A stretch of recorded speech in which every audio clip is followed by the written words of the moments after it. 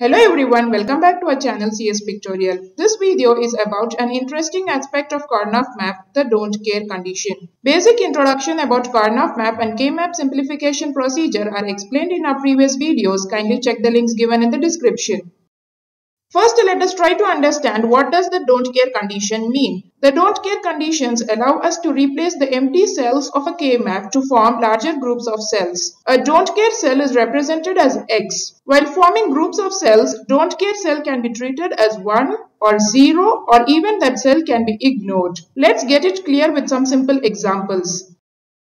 This example involves don't care cells in SOP form. Here, the given boolean function specifies the min terms and the don't cares denoted as d terms. First of all, fill up ones in blocks of k map respective to the min terms and place x in the blocks respective to don't care. Try making larger groups. Include don't care cells wherever possible. We get this quad only after involving the don't care cell. This group points to a bar b bar, a bar b, c d and c d bar. Here, B and B bar get cancelled, D and D bar get cancelled, leaving the term A bar C in the final simplified expression. Similarly, we get the second quad only after involving the don't care cells. This group gives A bar D. In this case, rather than making pairs, that is group of two cells containing ones, we make a larger group, the quad involving the don't care cell. This group results in term AB. Finally, we can only make a pair with this one and the don't care. So we go for that and get the resultant term A, C bar, D bar.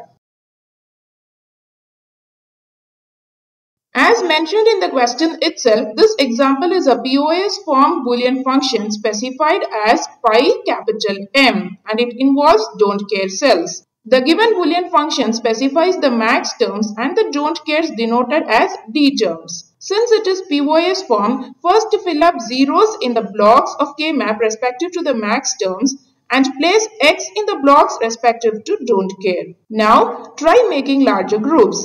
Include don't care cells wherever possible. We get this quad only after involving the don't care cell. This group points to the terms A plus B bar, A bar plus B bar, C plus D and C plus D bar. Here, a A bar and D D bar get cancelled, leaving the term B bar plus C in the final simplified expression. Similarly, we get the second quad after involving the don't care cells and also wrapping around the table. This group gives B bar plus D in the final expression. And finally, we make this pair because there is no possibility of making any other larger group. Thereby, we get the resultant term A plus C plus D bar. Make a note, the don't care cells can even be ignored if they don't help us in making any larger group. They need not be mentioned in the final expression. This is another interesting example. Here, we need to find the final simplified expression in POS form, but the given boolean function is in SOP form and specifies the min terms. We could easily derive the boolean function in POS form. Just keep the don't cares as such and write the missing min terms as the max terms.